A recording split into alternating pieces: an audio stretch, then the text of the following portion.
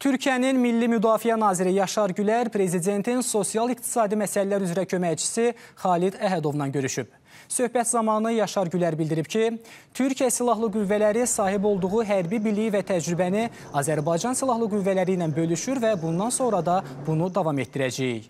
Bütün gücümüzü əlaqələrimizin inkişafına yönətmişik. Tək vətən hərəkatında olduğu kimi, bundan sonra da Azərbaycanlı qardaşlarımızın yanında durmağa və tək ürək olmağa davam edəcəyik. Hər zaman Azərbaycanın yanındayıq deyə Yaşar Gülər sözlərini əlavə edib.